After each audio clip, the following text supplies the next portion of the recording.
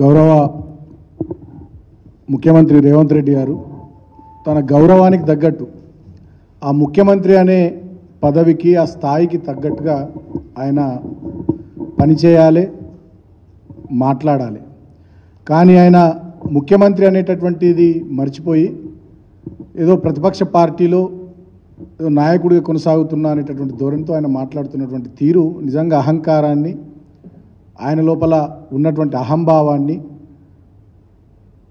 అధికారం మత్తులో ఆయన ఎట్లా తేలియాడుతున్నాడో చాలా స్పష్టంగా తెలంగాణ సమాజానికి కూడా అర్థమవుతూ ఉంది కనబడుతూ ఉంది. మా పార్టీ ఎమ్మెల్యేల ఇండ్ల చుట్టూ ఎమ్మెల్సీల ఇండ్ల చుట్టూ తిరిగి కండువాలు గప్పడంలో ఉన్నటువంటి శ్రద్ధ రాష్ట్రంలో నిరుద్యోగుల సమస్యలు పరిష్కరించడంలో కానీ నిరుద్యోగులను పిలిచి మాట్లాడడంలో కానీ ఏమాత్రం కూడా ఈ ముఖ్యమంత్రి కానీ కాంగ్రెస్ ప్రభుత్వ పెద్దలు కానీ ఎవరు కూడా చూపిస్తలేరు. ఇంకా దుర్మార్గం ఏంటంటే ఇప్పుడే చాలా వీడియోలు ఫోటోలు సోషల్ మీడియాలో చూస్తూ ఉన్నాం. సెక్రటరేట్ ఏరియా చుట్టూ మొత్తం సచివాలయం చుట్టూ మొత్తం పోలీసుల రక్షణ. వేలాది మంది పోలీసులతో సచివాలయాన్ని వాళ్ళే దిగ్బంధించుకున్నారు.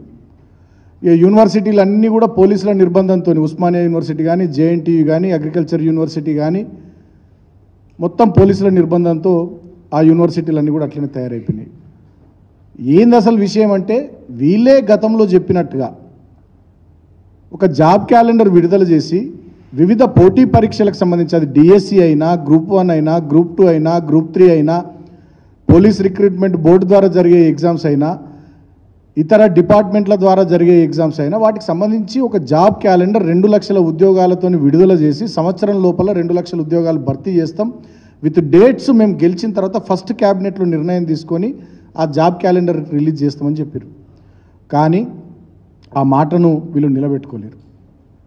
గతంలో ఇదే అశోక్ నగర్లో కోచింగ్ సెంటర్ల చుట్టూ రాహుల్ గాంధీ గారు రేవంత్ రెడ్డి గారు ఆనాడు మధుయాష్కి గౌడ్ గారు చాలామంది కాంగ్రెస్ పార్టీ సీనియర్ నాయకులు తిరిగి నిరుద్యోగులను కలిసి వాళ్ళతో మాట్లాడి అప్పటి మా ప్రభుత్వంపై అడ్డగోలుగా విమర్శలు చేసి నిరుద్యోగుల్లో యువతలో ఒక రకమైనటువంటి ఆందోళనను మా పట్ల వ్యతిరేక భావాన్ని ప్రేరేపించినారు. మరి ఇవాళ వీళ్ళు అధికారంలోకి వచ్చినాక ఆనాడు ఏవైతే ప్రతిపక్షంలో ఉన్నప్పుడు వాళ్ళని కలిసినప్పుడు కానీ రాహుల్ గాంధీ వచ్చినప్పుడు కానీ వీళ్ళ మేనిఫెస్టోలో కానీ వీళ్ళ ఎన్నికల ప్రచార సభల్లో కానీ వాళ్ళకి ఏవైతే మాటలు చెప్పినరో ఆ చెప్పిన మాటలు నిలబెట్టుకోకుండా ఇవాళ నిరంకుశంగా ఒక నియంతలాగా ఈ ముఖ్యమంత్రి రేవంత్ రెడ్డి ప్రవర్తిస్తున్న తీరును బీఆర్ఎస్ పార్టీ చాలా తీవ్రంగా ఖండిస్తున్నది.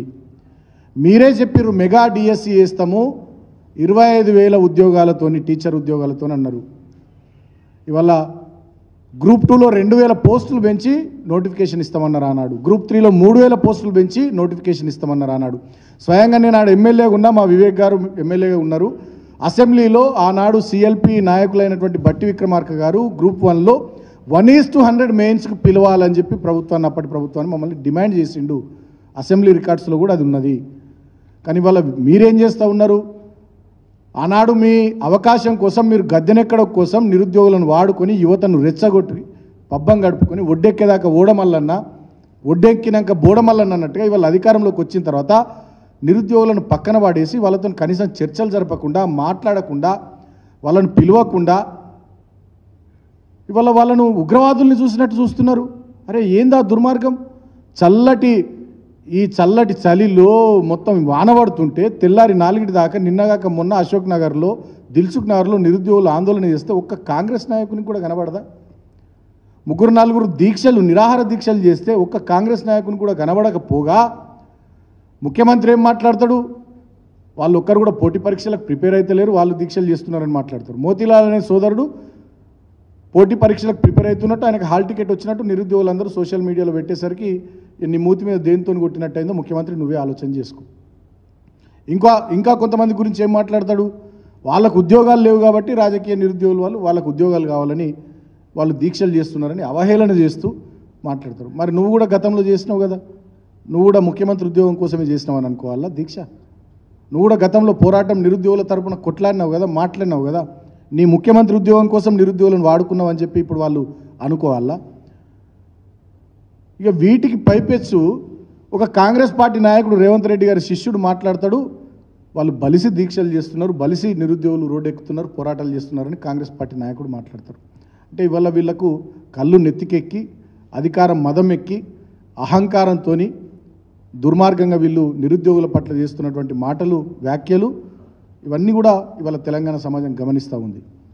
ఇప్పుడు వాళ్ళు అడుగుతున్నది ఏంది నిరుద్యోగులు? డిఎస్సి పరీక్ష వాయిదా వేయాలి. ఆగస్టు ఐదు వరకు డిఎస్సి పరీక్ష ఉండి ఆగస్టు ఆరు ఒక్కరోజు మాత్రమే గ్యాప్ ఉండి ఆగస్టు ఏడు ఎనిమిది మళ్ళా గ్రూప్ టూ ఉంది అని చెప్పి వాళ్ళు ఆందోళన చెందుతున్నారు.